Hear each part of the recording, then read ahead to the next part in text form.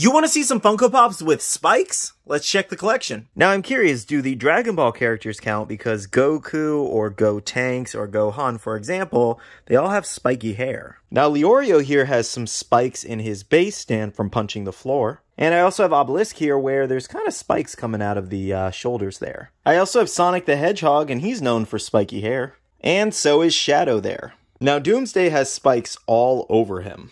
And with Kisame, the Samehada weapon he's holding is very spiky. Now that's a few I own in my collection. Let me know if you own any Funko Pops with spikes in your collection. And as always, make sure to leave a like, subscribe, and let me know what you want to see next.